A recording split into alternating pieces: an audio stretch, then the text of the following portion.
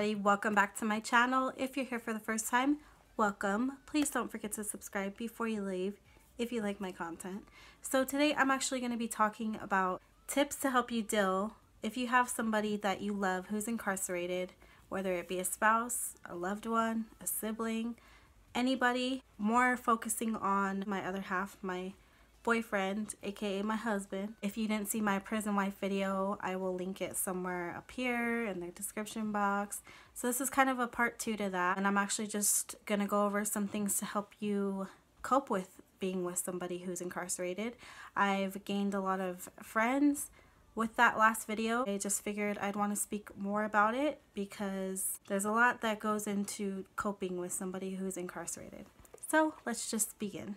Alright, so the first tip that I have is don't compare yourself to others. I know it's really hard and I know we live in a world where technology is right at our hands and we can see what everybody's doing, when they're doing it, but don't let that discourage you when you see other women who are with their husbands and they're buying homes and they're having other kids, you know, more kids or whatever it is that you don't have at the moment please don't let it discourage you. Um, I struggled with this actually a lot up until recently and then I just realized that that's not my life right now. And it may be one day but right now it isn't. And comparing yourself to others whether it be your friends or even complete strangers it's not going to get you anywhere. It's just going to make you upset and depressed and you really don't need to. You don't need to do that um, you just have to accept that this is your life. You know, you are choosing to remain remain with them and love them. Better days will come. Better days will come and you just have to remember that. All right. Next one is stay positive. And I know that's such a generalized saying, stay positive.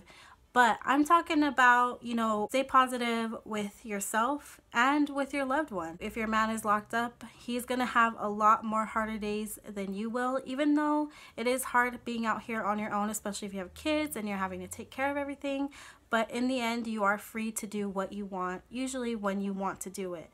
For them, you know, they're being told what to do every second of the day you know, they don't have any freedom basically at all. There's probably a lot of bad situations that they're put around when they're in there and you just got to remember that uh, they're kind of on the losing side of this. So what I mean by saying positive, bringing that back in, is when you're talking to them on the phone, just, you know, make sure you reassure them everything will be okay things are going to look up, you know, stuff like that. Stay positive. Give them info on their case or whatever it may be that you can do to help them stay positive and just remind them that you're there, you love them no matter what. Going in with staying positive, I would say to join some support groups because for you in your small little world, you may not even have anybody who knows anyone who's incarcerated or has somebody who's incarcerated and you might feel alone but the sad fact is that America has the most amount of incarcerated people in the world. So guaranteed there's tons of people out there who are in the same situation as you. Um, whether even though it's not in your immediate circle, there are other women, men, whoever it may be, that can relate to your situation. Um, when I did my last video, I actually had somebody reach out to me um, who has an Instagram account. It's called Love a Prison Wife.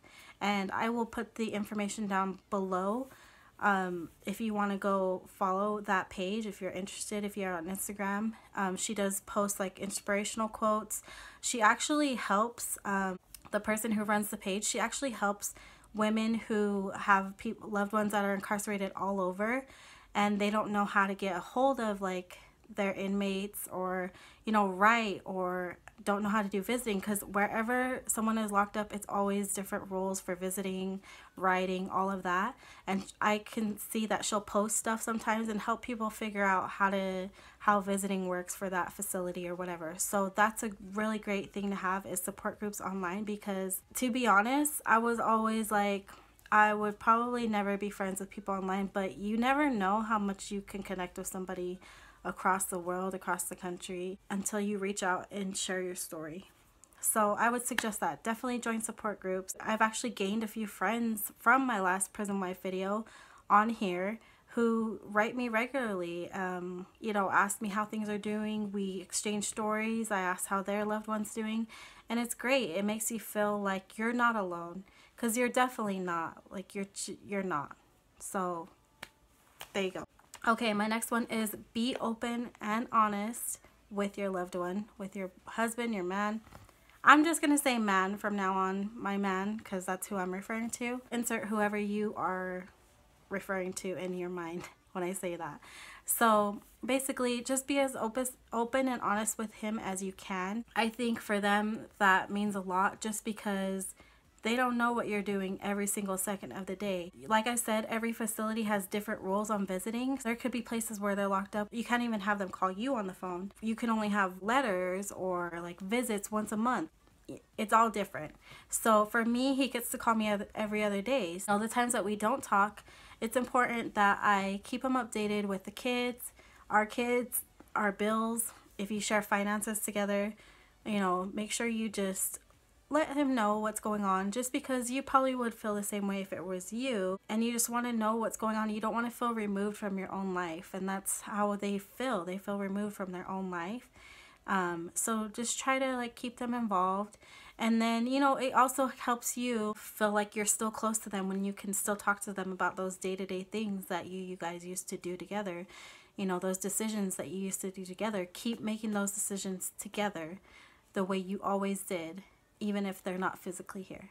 This is a big one for me that I just recently learned how to utilize, and it's don't be afraid to ask for help.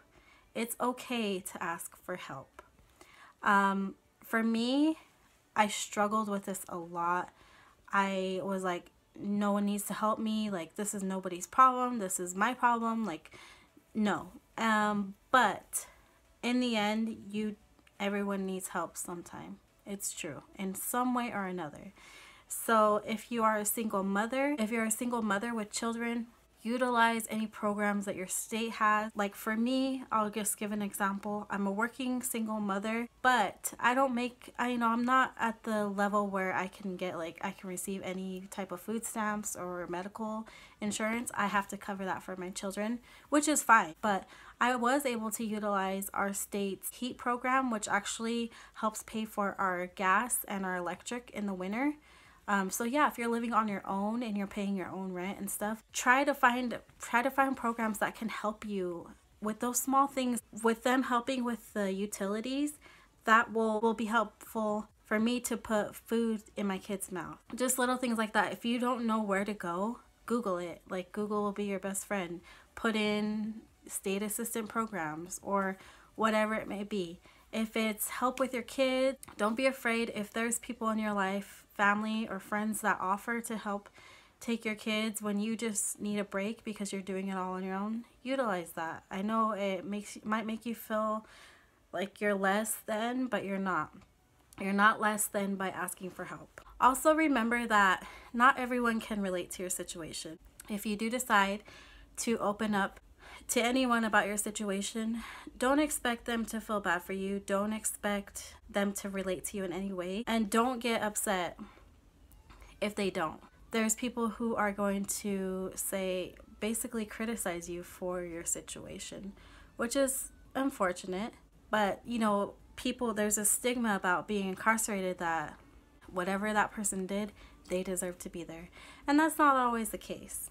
It is some it is most of the time, but that's not always the case. So you just got to let it roll off your back and be okay with people not relating to you or just saying just you know basically telling you give up move on you know he's gone move on with your life. You gotta just not let it you can't be like hmm should i? Think to yourself also have they been in that situation where their loved one is locked up Probably not. Just don't get upset if people don't relate. Let it roll off your back. Out the door. No one gives a. My second to last one. You don't ever have to explain your situation to anybody. There are people that I know that I talk to every day at work who don't even know that my man is locked up or anything like that. Um, and I've worked with them for a couple years now to me it's not like oh i'm hiding it it's just that i don't feel like i have to explain I don't like opening up to people because they're just going to know my business for the rest of their life now and they'll be able to pass judgment and probably get in that category of people telling me to leave and all that.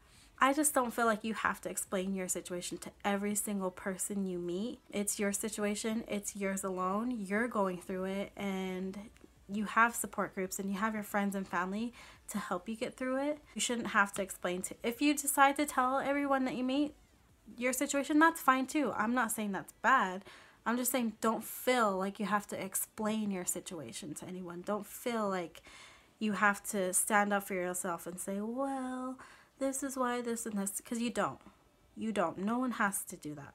The last part is mostly about kids. If you have children with your man who's locked up, if you have children together, or if even if you had children from a previous relationship and, you know, you, they helped raise them, whatever it may be, you have children together as a family. Don't be afraid to show your emotions with them. Because for me, in the beginning, I kind of hid that a lot with my kids. I would cry a lot alone. When my kids would bring up their dad, I would kind of just brush it off. I don't, I don't recommend doing that. When the kids start talking about their dad, talk to them about it. Whether even if it's if they're they're sad about it, talk about it.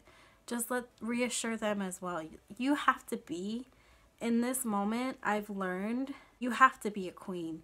You have to put on your your queen face and be strong. You have to be strong. Let your kids express their feelings. If they're sad, you know, reassure them that it will be okay. For me, that's the hardest part because my when my son talks about his dad constantly, it it breaks my heart inside and I really just want to cry. Most of the time I get I'm fighting back tears usually when he talks about his father, but I pull it together, reassure my son because I don't want him to be scared about it or sad about the situation. So it's okay to show your emotions with them, talk to their talk to them about it. And because this is something that, you know, depending on how long that they're incarcerated, this is something that could affect the rest of their lives. They'll remember.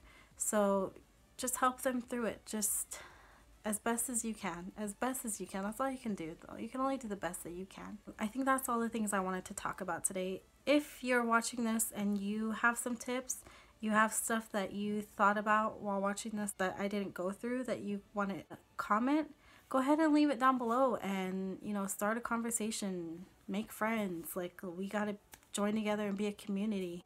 We need each other. Anyways, I really hope that these tips kind of help. Really quick before I end the video, I wanted to shout out to my girl, Daisy Nadal. Um, she started following me and she's such a sweetheart. She's always commenting on all my videos. Just a sweet girl. I know she's in a similar situation. And thank you so much for your support, girl. I really appreciate it. Other than that, I will see you guys in my next video. Thanks for all the love and bye.